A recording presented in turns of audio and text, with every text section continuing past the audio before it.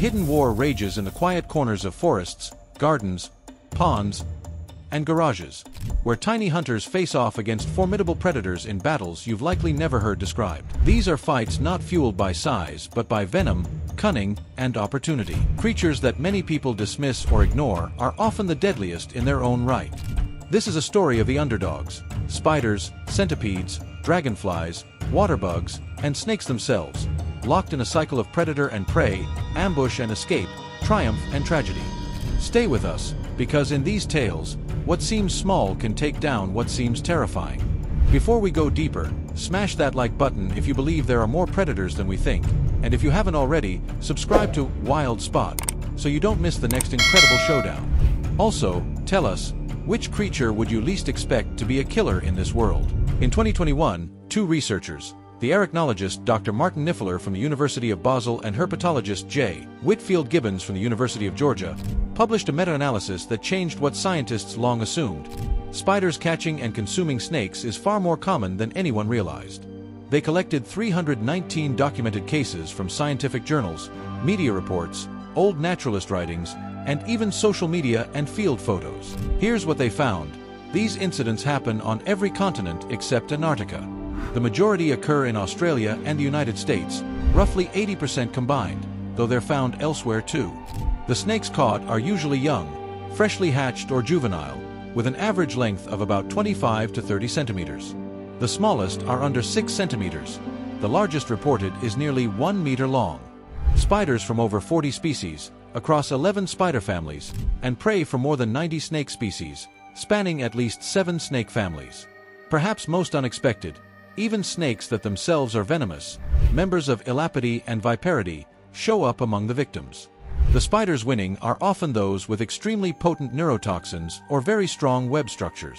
Australia remains a hotspot for such lethal meetings. Among the most dramatic are encounters between the eastern brown snake, one of the world's most venomous land snakes, and the redback spider, known as Latrodectus hasselti, a member of the widow family. Eastern brown snakes carry venom that attacks blood clotting, can cause massive internal bleeding and cardiovascular collapse, and, if untreated in humans, can kill in minutes. Their reputation is fierce. Yet, when young, they are vulnerable. Redback spiders build tangled webs that are deceptively strong. When a juvenile brown snake becomes ensnared, those sticky webs tighten with every struggle. The redback creeps in, injects venom, and when it works fast enough, the snake's defenses fail. The web, the bite, and the venom combine in a deadly tactic. Though detailed video evidence of particular brown snake versus redback confrontations remains rare, the recent meta-analysis confirms many reports of redback and other widows taking down brown snakes or their juveniles. It's not all tangle web ambushes and venomous fangs. Some spiders don't build webs, some don't wait for prey. They hunt. Tarantulas are among the strongest and most physically imposing of the spider world. They use ambush, stealth, speed, fang depth. In 2015 and later observations, Large tarantulas have been documented attacking snakes up to a foot or more in length. Sometimes the skin is shredded, the body paralyzed, and the meal taken with slow, methodical feeding. Orb weavers are another group that surprises people. Their abundance in web building, sometimes making large circular webs with strong silk, allows them to trap prey beyond insects, frogs, bats, birds, and young snakes. One golden orb weaver in Florida was documented catching a yellow or green snake about one meter long. These spiders are less venomous than widows but compensate with web strength and size. In most of these confrontations, venom is what tips the scales. Spiders that take on snakes often possess toxins that interfere with the snake's nervous system, sometimes also with its circulatory system. Widow spiders, family Theridiidae, are especially notable. Their venom produces alpha-latrotoxin, which targets vertebrate nerve junctions. Even when snakes themselves are venomous, the spider's venom often works more quickly, or at least in ways that avoid triggering an effective defense. Putting together potent toxins, well-constructed webs, and timing, striking while prey is entangled or vulnerable, creates an almost unfair advantage. Recent studies also indicate that many spider venom components effective against snakes are understudied. The meta-analysis suggests that beyond widows, Many spider species capable of killing snakes likely use previously uncharacterized or little-known neurotoxins or venom enzymes that act against vertebrates. One pattern keeps showing up. young snakes are by far the most common victims.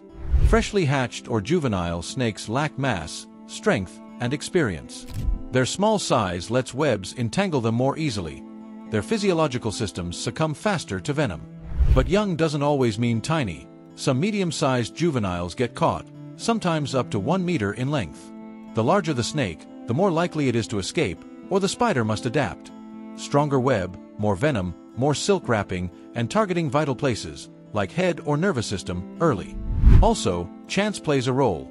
An unlucky moment of tangling, a fall into a web, or being distracted can make a difference. Spiders are not the only unlikely predators in this venomous landscape. Several other arthropods and insects have been documented fighting, and often winning, against snakes or against other venomous threats. Giant centipedes, particularly in Southeast Asia, are known to attack snakes, sometimes even large ones, especially when the snake is vulnerable, e.g., laying eggs or young. The centipede will coil around, bite with its venomous claws, and immobilize. Observations in Thailand have recorded Scolopendra species attacking snakes mid-reproduction, wrapping tightly and delivering venom. Praying mantises offer yet another twist. On Guam, a mantis, Hierodula species, was filmed attacking a brown tree snake, sinking its forelegs into the opponent and dragging the snake down, even while the snake tried to escape.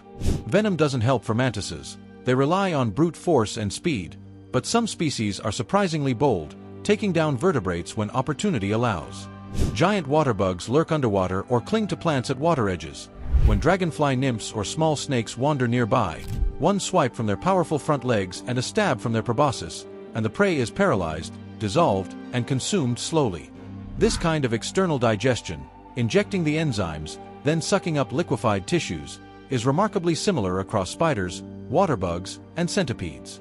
When the meta-analysis counted 319 incidents of spiders eating snakes, roughly half of those involved widows or spider species in the Theridiidae family.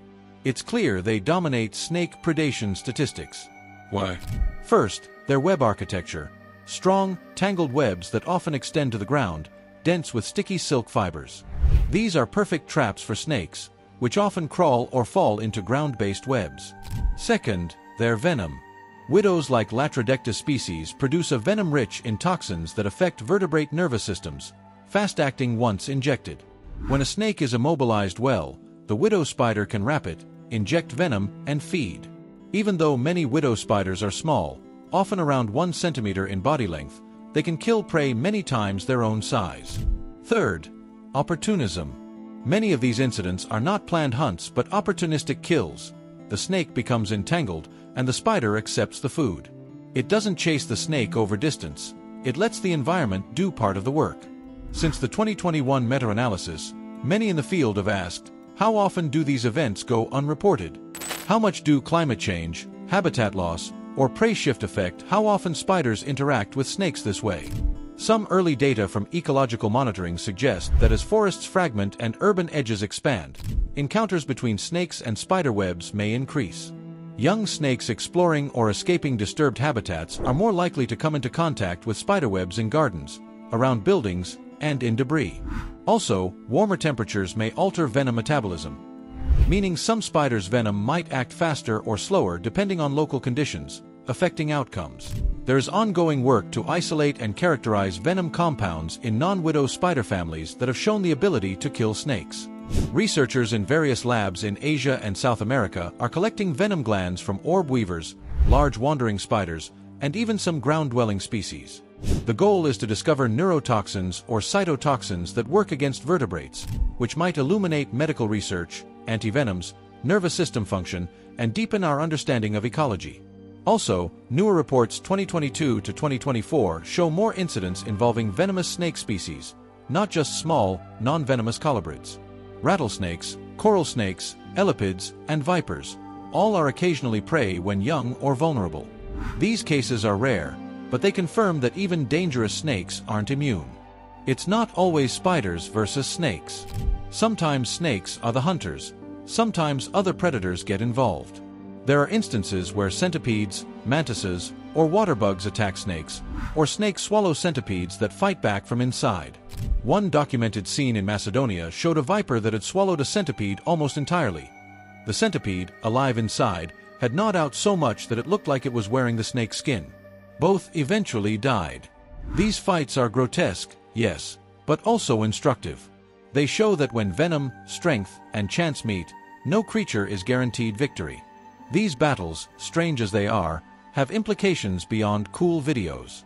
For example, if spider predation on young snakes is more common in certain areas, that could reduce local snake populations, which in turn might increase insect or rodent populations, since fewer snakes to control them. Conversely, spider declines, due to habitat loss and pesticide use, might remove a check on those young snake numbers.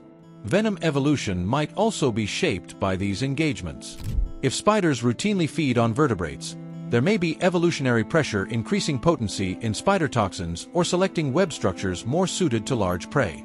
On the snake side, there might be selection for behaviors or skin toughness that reduce the chance of getting entangled or increase resistance to spider venom. Finally, human impacts, urbanization and climate change may increase the number of snake-spider encounters. Grow more walls, roofs, debris, and garden clutter. Spiders build webs, young snakes wander, encounters rise. Warmer weather might make both spiders and snakes more active at times when they'd otherwise be dormant. If you were tiny like a juvenile snake, what would you fear most? Coming across the web of a widow spider at night, encountering a fast-moving water bug in water, or running into a giant centipede in leaf litter? Drop your answer in the comments. There are no wrong answers, only stories. Also, if you like watching creatures taking down enemies much bigger than themselves, hit share so more people can see these wild natural battles. One reason these extraordinary battles don't make headlines more often. They are hard to observe, document, and verify. Many happen at night, under cover, or in remote areas. A snake caught in a web might die quietly. No one sees the fight. Even when videos exist, details like species identity, size, age, and venom type are often missing. The meta-analysis stepped into this gap by not just counting peer-reviewed studies, but also collecting reports from field biologists, naturalists, social media posts, and news stories. This broader net reveals many more incidents than would be known via academic literature alone. Still, scientists warn that biases remain. More reports from places with active naturalists, Australia, USA, and fewer from remote regions, tropical forests, and islands. So when you watch a video online of a spider and a snake, there's a chance it's part of this larger, unknown war. Some studies show that younger snakes have less developed physiological defenses. Their small bodies mean venom spreads quickly. Spiders that inject venom into the head or central nervous system regions gain a faster kill. Also, the structure of the web matters. A web that supports the snake's weight, prevents escape, but allows the venomous bite to land, is key. Newer genetics and proteomic studies are trying to map exactly which toxins in spider venoms are effective against snake physiology. Some are general neurotoxins, affecting nerve signal transmission, but others target muscle contraction or even the blood clotting system. Research in 2024 to 2025 has revealed new peptide components in orb weaver and wandering spider venoms that show moderate vertebrate toxicity in laboratory tests. These may not be extremely lethal to humans, but they are enough to paralyze or kill small snakes. On the flip side, snake venom and the immune system are under pressure. Young venomous snakes likely rely on rapid growth, aggressive behavior, or hiding to avoid dangerous encounters. Some species may have slight resistances or behaviors, thrashing, biting, that reduce the chance of a spider bite landing properly. One of the strangest documented incidents, so far, involves a centipede attacking a snake that was laying eggs. The centipede wrapped itself fully around the snake, delivering venomous strikes. The snake, burdened by eggs and unable to escape fast, was overwhelmed. This shows that it's not always physical size, but condition and timing that determine outcome. Another case, a snake swallowed a centipede, but instead of being killed immediately, the centipede fought back from inside, gnawing through internal tissue. The fight was brutal. In the end, both perished. It looked almost like a horror film. Then there are water bugs biting birds, turtles, or frogs, or even tiny snakes that swim near them. Outside digestion, paralysis, and immobilization, all echo the same pattern we see in spiders. Why should we care about these wars of venomous animals? Because they remind us how complex ecosystems are and how even the smallest creatures play big roles. Some thoughts for us. Research and conservation. Many of these predators, spiders, centipedes, etc., are sensitive to habitat change. If they decline, whole predator-prey balances shift. Medical science. Understanding how spider toxins work against vertebrates may help antivenom design, nerve repair, and even neurological research. Public perception. Spiders and snakes are often feared, but knowing they also fight among themselves, and sometimes spiders win, may shift the narrative away from evil beast toward respect for survival strategies. Biodiversity. Discovering new venom compounds could mean new species yet undescribed, since many spider species remain poorly studied. Warmer climates, expanding urban zones, and shifting habitats may bring these battles into closer proximity with humans. Either more encounters seen, or more conflicts in places we live. These are not just freak accidents. The spiders, mantises, centipedes, water bugs, and snakes embroiled in these deadly showdowns are participating in an ancient, ongoing war. One where venom, silk, speed, strength, youth, and chance all matter. Where sometimes the underdog wins, and sometimes the predator becomes prey. The next time you see a spider web in your garden, or a centipede scuttling in the leaves, or a dragonfly skimming a puddle, remember, beneath the silence, there might be conflict. Tiny warriors, using tiny weapons, fighting huge enemies, and sometimes, winning.